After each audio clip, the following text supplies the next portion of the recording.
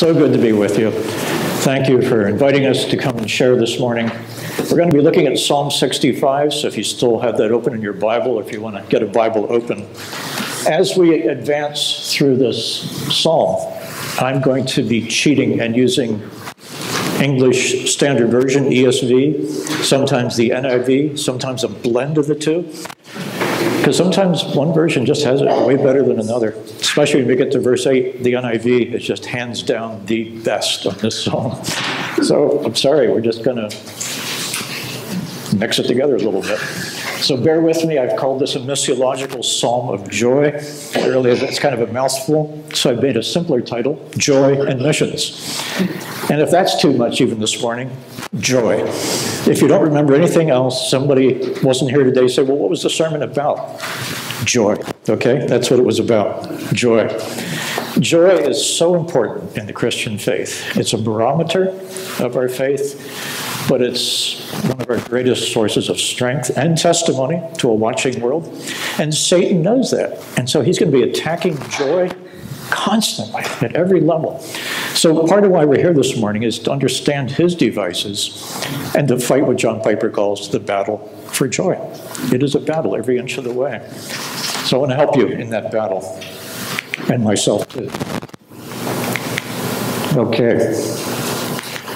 Psalm 65 is both a study of sound doctrine, and we're going to be pausing with each verse and saying, well, what doctrine is being taught in this verse? And I'm kind of being a smart aleck, I guess. I'm trying to remember my seminary days. You'll see big words once in a while, like soteriology, doctrine of salvation. I'll explain them as I go. But I'm trying to impress upon you that this short psalm, 13 verses, is very rich, theologically rich, almost a compendium of systematic theology. And yet it's a missiological psalm of great joy. There's much here about reaching out to people. We tend to compartmentalize. I do it too. We say, oh, well, he's a missionary. He's an evangelist. He's a theologian. He's a seminary professor. And we put people in boxes. And I'm here this morning to say God wants each and every one of us to be a theologian, to, to study God, to love God enough to use our mind to know Him and what His Word teaches about everything He says and does. But He wants us to be out sharing. He wants us to be evangelists and missionaries. So everybody here is called to everything I'm going to be speaking about this morning. Keep that in mind because nobody gets off the hook here, okay? God wants you and me to be doing both. You know, there's a book that drove me out of the ministry for nine and a half years. I was pastor like Howard, the pastor's secretary, became a pastor of a little church in Kutztown. And I was restless for all nine and a half years, faithfully writing sermons every week, doing everything a pastor is supposed to do. And then I read this book by Dr. J.P. Moreland, philosophy professor, a Christian man out at Biola in California. The title of the book was Love the Lord with All Your Mind. And something he said in that book, actually a number of things he said in that book, made me realize God had a different calling for me. And for nine and a half years, the Holy Spirit was convicting. Oh, God is so patient, patiently convicting. You're not exactly where I want you to be. You're close. It's like that game. You're getting warm, warm, hot, cool, cold, hot, hot. God was saying, keep, keep moving, keep moving. I want you to stop preaching sermons, and I want you to be full time on the campus reaching professors. It took a long while to persuade me and to deal with all my insecurities, how we're going to pay for this, how's this really going to work. So, all that to say, in that book, J.P. Moreland says, God's not asking you, anybody who's reading the book, any Christian, he said, God's not asking you to have more brain than you have, to have a higher IQ than you have. He's asking you to love Him with all your heart, soul, mind, and strength. He wants you to take the mind He gave you and exert mental sweat. Oh, I love that line. Just take whatever God gave you, okay? Whatever it is and love Him with all your strength and all your mind and all your soul and all your heart. And so, with your brain, exert mental sweat. I think that's what God calls us to do. In our times of personal Bible study, any Christian books you're reading, you don't have to be the seminary professor. I would never make a good seminary professor. But just exert mental sweat. We're going to try to exert a little mental sweat this morning as we go. So it's a psalm of joy, of missions, of theology, and we need it all. We need the whole package. First verse that Howard read to us Praise is due to you, O God in Zion. To you shall vows be performed. Now, just to show you how the Lord keeps humbling me, I had to get this PowerPoint ready. I was trying to do it by midweek to ship it to Rick Granberry so he could get it loaded on your computers. I finally succeeded Thursday. I email it to him. The computer's loaded. And I found my first boo-boo right here. I said, this is the doctrine of doxology. That would make sense. You know that ending ology, biology, study of life, theology, study of God, doxology, the study of praise and how we praise God and why he's worthy of praise. Somehow I thought that was true and right. Guess what? After I emailed the PowerPoint, I thought, I'm just going to look that up. I'm going to Google doxology. It's primarily the song we just sang. When you, you type doxology, it's that thing we just sang. And any other short verse or hymn or formula that ascribes praise to God. Nowhere. I mean, I checked several big dictionaries. My wife has a big fat 1950 dictionary she inherited from mother. Nowhere could I find what I was thinking. I don't think it's true. So I'm already misleading you. Can you trust the rest of my sermon and the rest of my palate? Doxology apparently doesn't mean the theology of praise like I was hoping it would. So either we're going to start a new word this morning or I'm I'm just dead wrong. but anyway, God is worthy of praise, and I think that's a worthy subject to study. The second verse said, Oh, you who hear prayer, to you shall all flesh come. And I'm thinking, well, what doctrine is that? I'm going to keep it simple. It's the doctrine of prayer. God hears prayer, He answers prayer. There's no other place in the universe we can go where we're going to really be heard and answered. And therefore, to you all flesh shall come. It's curious because we see an awful lot of mankind not coming, a lot of people not praying, a lot of people refusing to believe in prayer. But boy, you get them in a crisis. That old adage, no atheists in foxholes, is true time and time again. You come upon the scene of a car accident, and who are people calling out to? So often calling out to God because now they're in pain, now they're afraid of dying. So people do when push comes to shove. They've been suppressing that. The Bible tells us they're actively suppressing, but now finally it's erupting they do come to God. We, as his children, hopefully are coming much quicker. Is my life marked by seasons of heartfelt praise? And again, I'm using, misusing the word doxology here.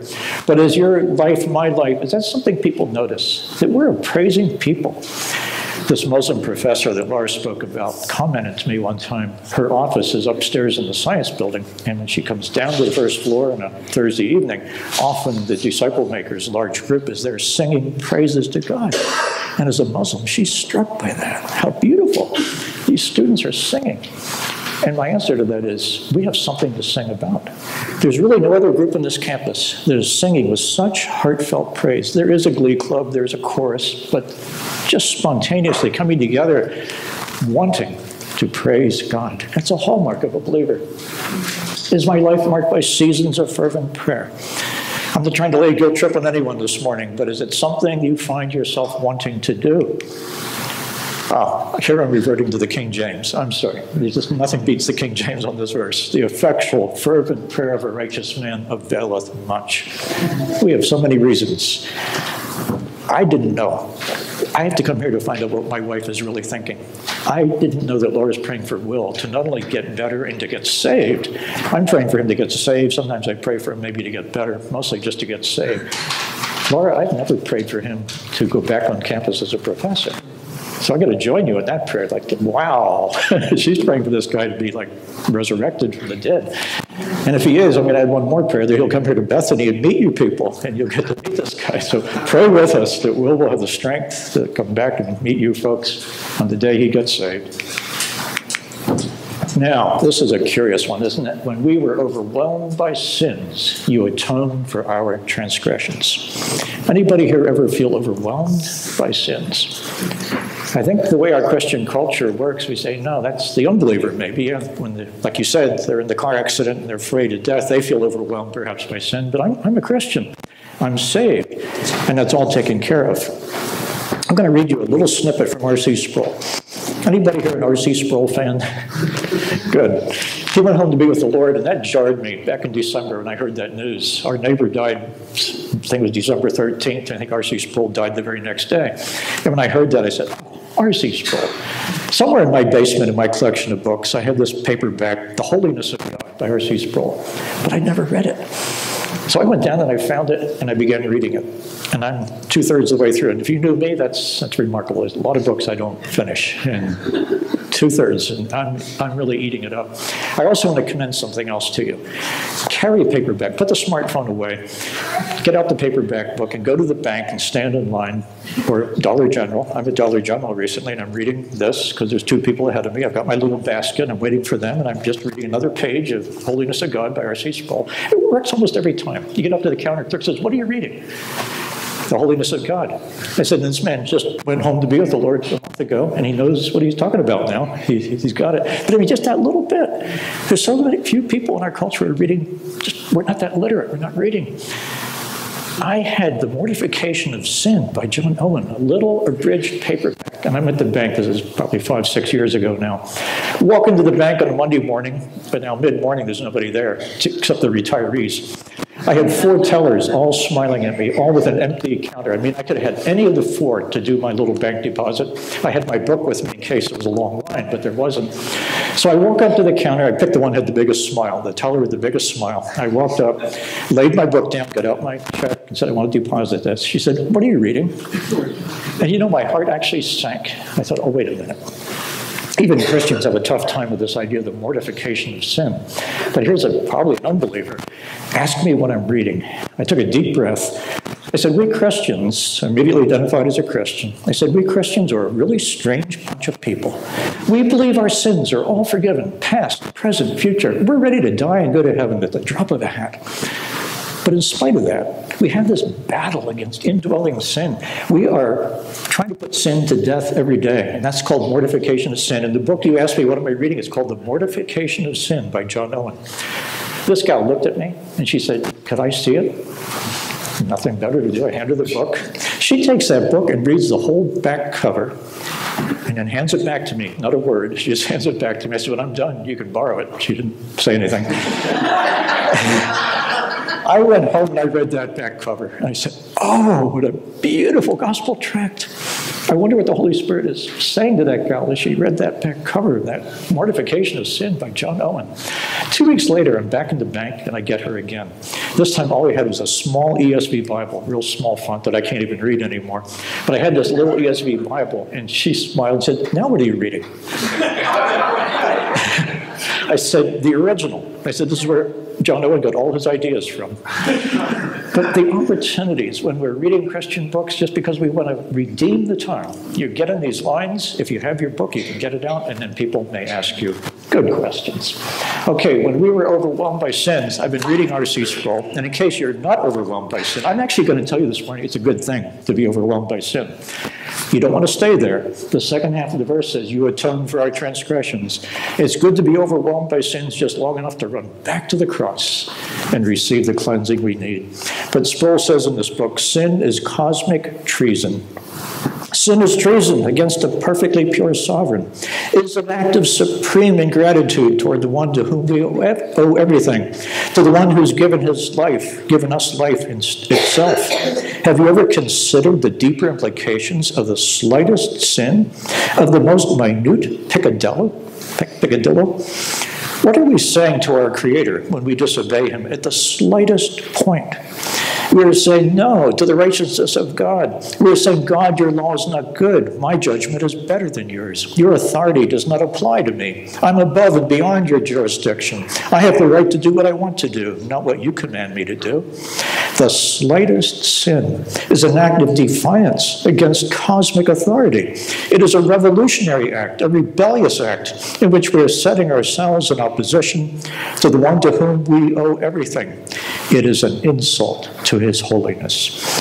You know, reading stuff like this makes sin more overwhelming. And I believe as we come to grasp the holiness of God better, and that was the heartbeat of R.C. Sproul's ministry, we are going to be more overwhelmed by sin. But that won't leave us there. We're not paralyzed Satan is always seeking to paralyze us one way or the other. Satan either wants to lull us to sleep, oh, my sins aren't that bad. They're really just all peccadillos. Or to begin to grasp the magnitude of our sin and then be paralyzed. The answer is in the second half. You atoned for our transgressions. I'm going to keep running back to the cross over and over and over again. One other true story I've probably shared here before. But sometimes the slightest thing in your life, people are watching you so closely. Uh, My dad was a pastor in Maine. We moved there in 1959. I was 12 years old. Now you can figure out my age. And right down the hill from us lived this really beautiful 12-year-old girl, Marilyn. She caught my attention right away. But I, I'm really socially awkward. I didn't know what to do about that. She's real pretty. She gets on the school bus when I do. We go to school. At some point, she came to our church and actually became a Christian. And somebody turned to her and asked her, why did you come to Christ? She said, it was John Studenroth. I was just watching him, and he was always so happy. I said, really? I didn't know she, I was watching her because she was pretty. I didn't know she was watching me at all. And I didn't know that I was so happy, and I didn't know she was watching me, and I didn't know God, the Holy Spirit is using that to bring her to Christ. And then later in college with a Hindu roommate, and this is the one you've probably heard, but it bears repeating because it's so much fun. I wake up one morning and here's Negi, my Hindu roommate from India, just staring at me from his bed. And he looked at me and said, John, you sleep so well at night. I said, I do. you don't think about these things, and I didn't know he was watching me either. He said, Yes, you do. And he said, And I know why, too. Because you have a clean conscience. And I, he said, I don't sleep well at night. And he said, You sleep so well because you have a clean conscience, and I don't what's left to say? I mean, he's not only watching the sleep, he's connecting the dots and figuring out why. There wasn't a whole lot for me to say, but I just said, Negi, you're hitting the nail on the head. Sleep is not a major doctrine in the Christian faith, but there are some passages, and I turn to the Psalms. I lay me down and I sleep. There's Psalms about the sleep. I said it's a corollary, it's sort of a side benefit of our faith that sound sleep is a gift of God for exactly the reason you said. A clean, and where does that clean conscience come from? You atoned for our transgressions. It's the heartbeat of the gospel. A year later, Negi left Cornell. A year later, he wrote to me and he said, John, I have become a Christian. Uh-huh. The Holy Spirit is working. I said, you know what my contribution was? We always hear how 17 people have to witness to you before somebody has to witness to you before you become a Christian. My contribution was sleeping. That's the heartbeat of our Christian faith. I think I need to aim this a little better. Okay, atonement is the doctrine we're looking at there. But you know, there's a big word for sin. This one's true. I, I couldn't remember it. We learned it in seminary, and was trying to, what's that word? What is that word? Har, hamartiology. There's a Greek word, hamartia, for sin, and that's turned into an English word, har, har. You can look it up. What would that be? That's all about original sin, and that's all about your sin and my sin, and why we sin, and how to mortify sin, and it's everything about sin. It's a, field of theology. It sounds yucky. Why would I want to study that? But I'll tell you what, if you do, you're going to appreciate the atonement a whole lot more. So I'm asking this question Are you sensitive to sin in your own life? Are you ever overwhelmed by it? And are you totally resting in Christ's atonement? Because I think it's possible to go through seasons of briefly being overwhelmed and saying, God, how could you possibly love me? Oh, thank you, you do. Thank you, you do. And you're faithful. And never, ever. He who comes to me, I will in no wise cast out. This is from Psalm 38. I just had to throw this in. For my iniquities have gone over my head like a heavy burden. They're too heavy for me. We need to feel that. We need to feel that to appreciate the joy of our redemption. Now, blessed is one you choose and bring near to dwell in your courts. Who wants to guess what doctrine I'm going to put up in green letters there? The first half of the verse. Blessed is the one you choose. What doctrine would that be?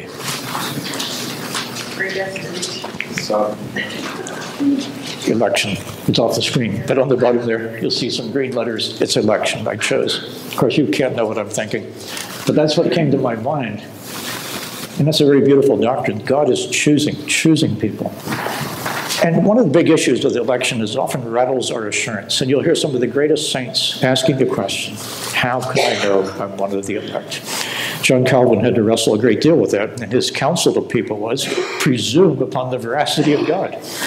Just presume upon the truthfulness of God. If you're troubled by this and you're coming to God and you want to be one of the elect and you're asking to be one, you are one. So welcome. Spurgeon has a booklet called Election, and there he says, does, does holiness matter to you? Are you concerned about holiness? Do you really desire holiness? You're one of the elect. Welcome aboard. So there's little litmus tests all along the way. How can I know I'm one of these People who are blessed. How do I know I've been chosen? But notice the second half of the verse, because right here is another subtle test. Blessed is the one you choose and take to heaven when they die. It's not what it says. Blessed is the one you choose and bring near to dwell in your courts. My question this morning is Is that you? Are you here this morning because you really want to be here? Hopefully you are. You get perfect excuse to stay home with a snowstorm You can say, oh, I just couldn't get dug out in time. So hopefully everybody who's here and preaching to the choir really, really wants to be here and is happy to be here. But in the off chance there's somebody here because of some lesser reason, and you really would rather be somewhere else, one of the indications you're one of the elect is you delight to be here.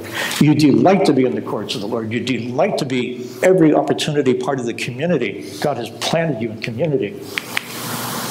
Is my being brought near and my dwelling in his courts a sure sign to me of my election? Is it part of my assurance? You know, it's easy to be pretty perfunctory about all these things. Membership, oh yeah, right, little detail. It's much more than a detail to God. God says, I want you to be part of a group that's giving an account for you. I want your soul to be shepherded. I have anointed shepherds, human shepherds, working under the auspices of the great shepherd of the sheep, to pray for you, to hold you accountable. Now, that's not always on the surface. We're not hopefully being called into the office by the pastor or the elders every week to give an account. But you know they are watching, and you know they will hold you accountable. And you're glad about it. And you're glad to be here when you can be. You can't be here every time the doors are open, but when you can, your life is enmeshed with the people of God, and it's exactly where you want it. That's a sign of your election. You've been chosen and brought near. You come to the courts of God because you want to. So I put your church membership attendance as a delight, not a chore, not a duty to be checked off. God says this in Psalm 68 A father to the fatherless, a defender of widows is God in his holy dwelling. God sets the lonely in families. This is what our salvation, our redemption is doing all the time. It's taking very lonely people. Believe me, I meet them constantly. So many lonely people on the campus, very lonely professors this one that Will, Will that Laura mentioned, he'll do anything to get me to come see him.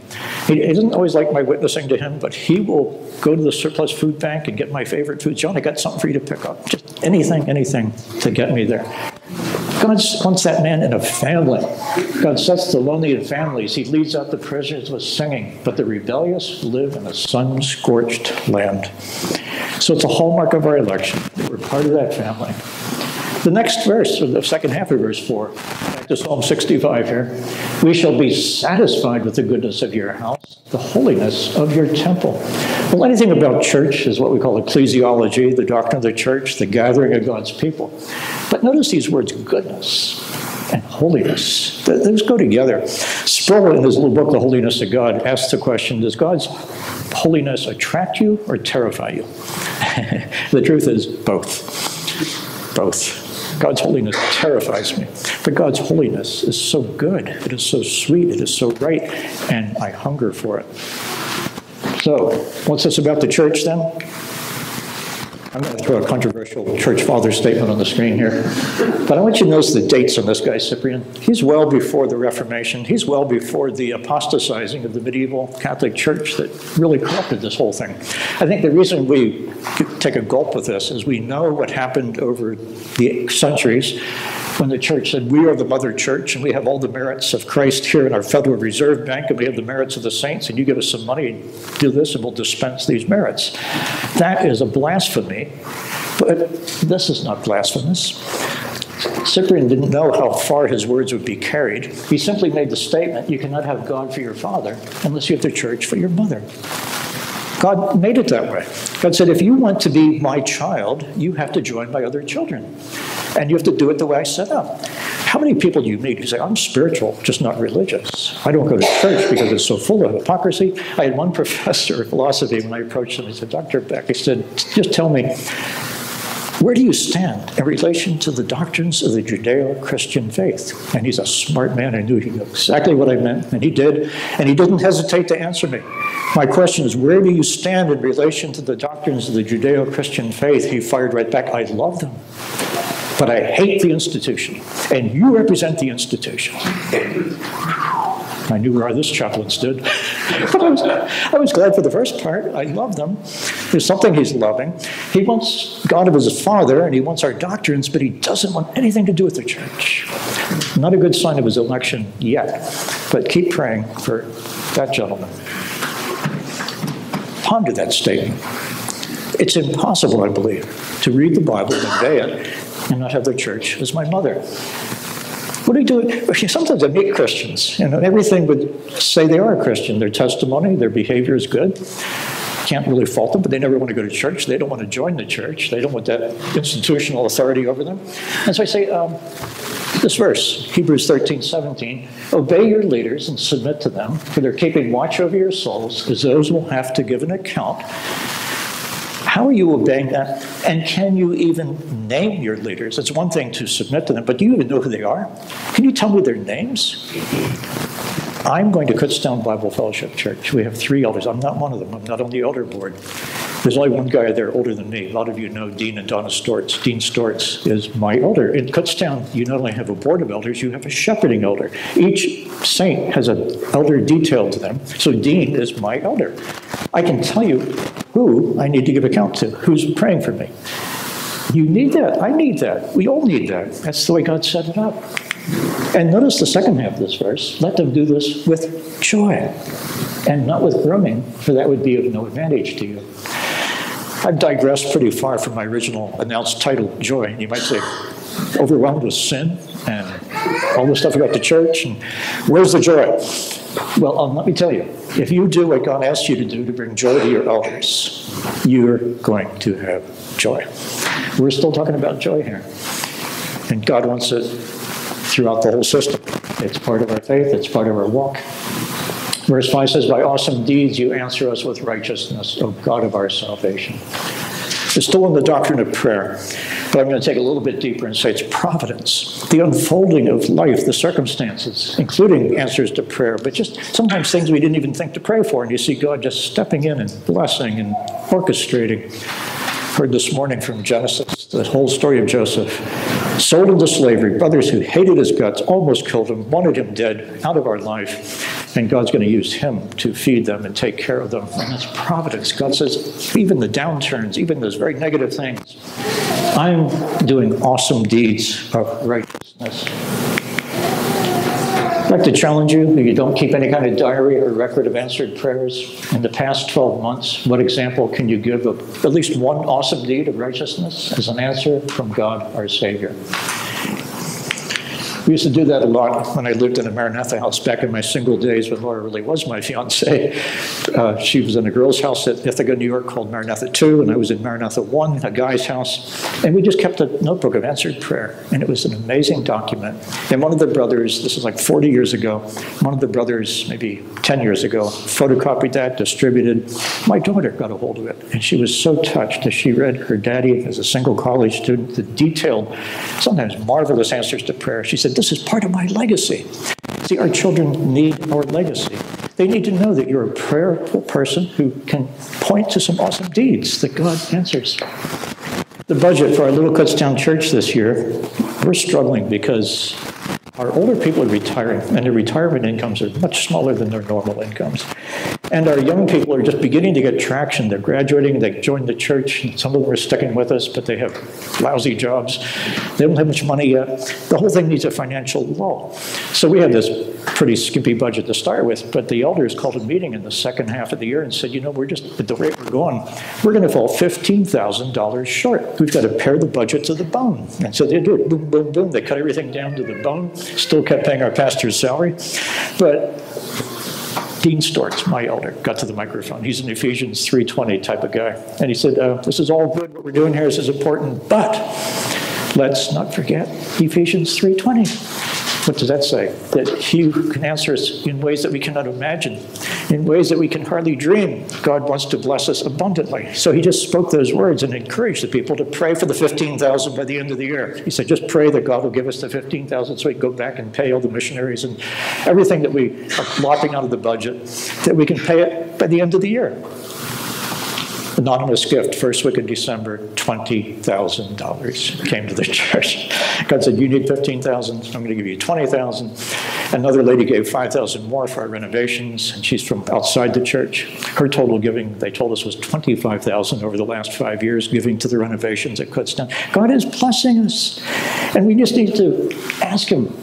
Oh, Laura mentioned the Collegiate Day of Prayer. I just want you folks to know that's a nationwide thing, collegiatedayofprayer.org. You can look at that. God wants to do great things on all our campuses, and we need to be praying and trusting Him to do phenomenal things, and things are really happening. There's the Ephesians 3.20. Now to him who's able to do far more abundantly than all that we ask or think, according to the power at work within us. People's estimation of Dean Storrs went way up from that one when that gift came in. The hope of all the ends of the earth under the farthest seas. What kind of doctrine is that? That's our missiology again, our global God. Everything that has to do with missionary work, God says, I'm, I have a missionary heart. I'm there long before you get there. I'm the one who is reaching people at the very end of the globe. The one who by his strength established the mountains, being girded with might. Notice the strength and the might but also the creation, the mountains. And so I'm putting doctrines of creation and God's omnipotence. He is the mighty creator God, and there's nothing too hard for him. Who stills the roaring of the seas, the roaring of their waves, the tumult of the peoples, turmoil of the nations, I think the NIV said there. God's sovereignty, His providence. You know, we can sleep like babies every night despite mass shootings. It, it's horrible. We grieve for the people and the turmoil in the world. There's a group of elite nuclear scientists who keep track of the danger of nuclear war. I don't know if you heard this, but this elite group said we are in more danger right now of nuclear war, World War III, if you will, than we were except for the 1950s. There was a period of time when I guess when the Soviet Union announced we had the hydrogen bomb, that things were super tense. Well, he said it's, it's at that level now. And of course, that's our president speaking to the president of North Korea, and the president of North Korea speaking to our president. And all this stuff is creating a climate, an atmosphere, where the guys who monitor our pulse emotionally say we're in more danger of nuclear war than we've been since the 1950s. That makes a lot of people lose sleep at night. God doesn't want you to lose sleep. There's a lot to pray about. But then, having prayed, we must sleep. God says, I'm the one who stills the turmoil of the nations. So that those who dwell at the ends of the earth are in awe at your signs. I put, that's another fancy word. That's the Holy Spirit. Pneumatology, the doctrine of the Holy Spirit, his convincing, his convicting. People who are in awe at his signs have been worked upon by the Holy Spirit. And again, missiology to the ends of the earth.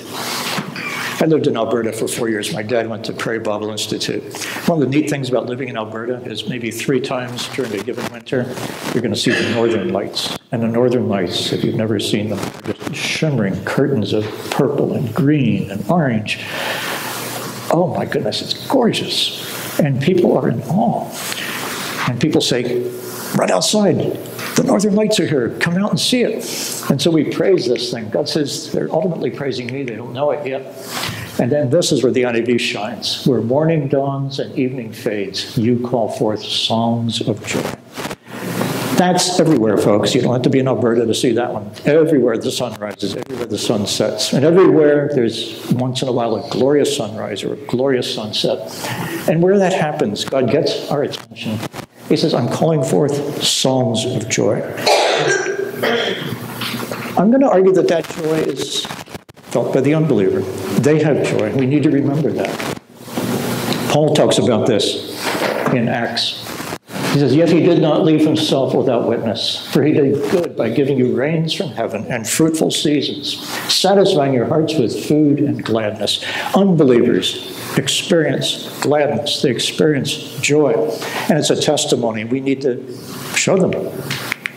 You, oh, the psalmist says this, though. You put more joy in my heart than, when the, than they have when their grain and wine abound. There is common grace, there is joy, and then there's special grace, and a much deeper joy, and much everlasting joy. And we need to explain the difference to people. Now, from here on out, we're going to move fast. The rest of the psalm is, I think, the doctrine of joy. You visit the earth and water it. You greatly enrich it. The river of God is full of water. You provide their grain, for so you have prepared it. You visit the earth and water it, you greatly enrich it. Okay, the river God is full of water, you provide their grain, for so you've prepared it. I'm saying as God's philanthropia, his love for all mankind. Sometimes you just call common grace. You drench its furrows and level its ridges, you soften it with showers and bless its crops. The pastures of the wilderness overflow. The hills gird themselves with joy. The meadows are covered with flocks, and the valleys are mantled with grain. They shout for joy and sing. I'm just going to call it the doctrine of joy, okay? It's out there, it's everywhere. People do experience it. And it actually leads us to something I want to leave you with today. The doctrines of joy and common grace lead us to the philosophical problem of good, which is the flip side of the coin of the philosophical problem of evil. The philosophical problem of evil, you're going to hear a lot. People say, well, now that God's all powerful and all loving as you're telling me, then why, why, why? Why tsunamis? Why earthquakes? Why children with leukemia at the age of three? Why? We don't have the answers to all the riddles. But we have a question for them. If there is no God, as you're telling me, you're an atheist, and you're telling me you don't think there's any God, where does good come from? Where this joy, this sense of provision, this bounty, this beautiful sunset, this beautiful sunset, this beautiful infant, the joy of children, the joy of raising a family, where did that come from? It's as real a problem as the one of evil. Our job is to help people understand one, the author of all their present joy is one who loves them, philanthropia. And, if I get this to advance, the same author offers us a much deeper and greater joy. The one joy is to lead to the other. Paul says in Romans 2 4, Do you not know that the kindness of God is meant to lead you to repentance? Do you not know that all his favor that you're experiencing is to take you deeper into salvation? Okay. The chief, who wants to guess who said this? The chief end of missions is supremacy of God and the joy of all peoples. Who does that sound like? John Piper. And the same with the, the believer, there's a daily battle for joy. That's John Piper. His whole ministry is a joy centered type of ministry. I'm going to close with this. Restore to me the joy of your salvation. Uphold me with a willing spirit. This is after David is totally overwhelmed by his sin. He has sinned majorly with Bathsheba. Psalm 51 is his psalm of contrition, repentance, and restoration. But he's saying, even though I don't deserve it one bit. Restore to me the joy of your salvation. Uphold me with a willing spirit. Then I will teach transgressors your ways, and sinners will return to you. This is so essential to our outreach, to our missionary work. If we don't have this joy, things are going to fall flat. Now, I can imagine what Satan is saying to David. You're going to teach transgressors? You hypocrite. I mean, you're the biggest transgressor ever. You murdered a man. You committed adultery. And you think you qualify to teach a transgressor? Who are you? I mean, Satan's going to try to do that to you and me too. Who, who do you think you are? It's not about who I am. It's about the God who forgives. I'm an example, as Paul said, the chief of sinners. I'm an example of the atonement. I'm an example of this forgiveness, example of what I'm talking about. I wonder, someday we'll find out. That's not my picture, that's yours. Someday we're going to find out if David led anybody else to the Lord after the whole Bathsheba thing, but I have a hunch he did. Let's pray. Father, thank you for the joy you want to give us, the joy that we need to cultivate, the attacks of Satan that we need to guard against to rob us of joy. Lord, please help us with this whole thing to love you, to rest in you, and to reflect you accurately to a watching world. We ask in Jesus' name, amen.